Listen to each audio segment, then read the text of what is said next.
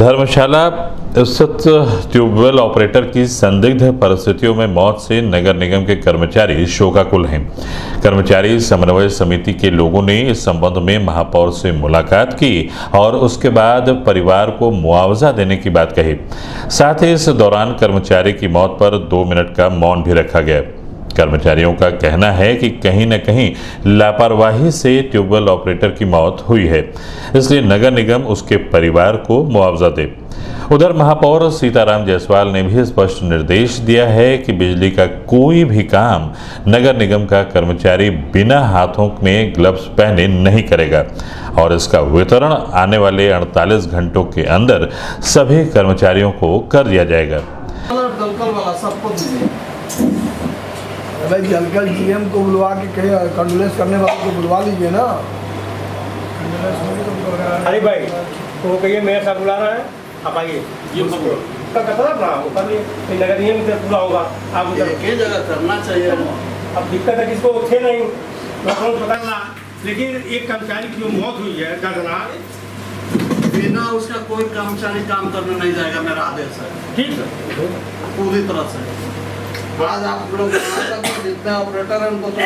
इस बारे में हमारे सिटी वन संवाददाता से बात करते हुए महापौर सीताराम जायसवाल ने कहा।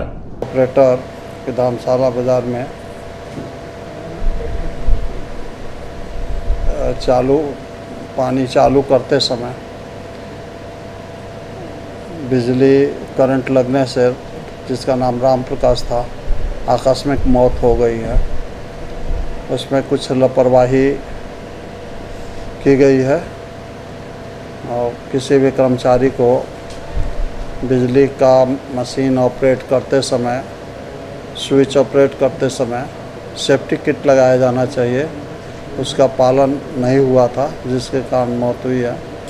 मैंने आज सभी अधिकारियों को ये बोला है कि बिना सेफ्टी किट का कोई भी हमारा कर्मचारी, कोई भी स्टार्टर, या कोई भी बिजली कनेक्शन, या कोई स्विच, तब तक नहीं ऑपरेट करेगा जब तक कि उसके पास सेफ्टी किट ना हो। जलकल विभाग ने सेफ्टी किट मंगवाया है और आज ही सभी कर्मचारियों को निर्देश दिया गया है और इस पर तत्काल पहल की गई है कि किसी तरह का आगे इस तरह की दुर्घटना घटना न हो। जो दुर्घटना हुई है, इसके लिए हम लोगों ने आज कंडोलेंस किया है। नगर निगम परिवार इससे दुखी है। हम लोगों को बहुत तकलीफ़ हुआ है कि किसी भी कर्मचारी की मौत, आकस्मिक मौत, वो भी लापरवाही से हुई है, जिससे बचाया जा सकता था। उसमें हम लोग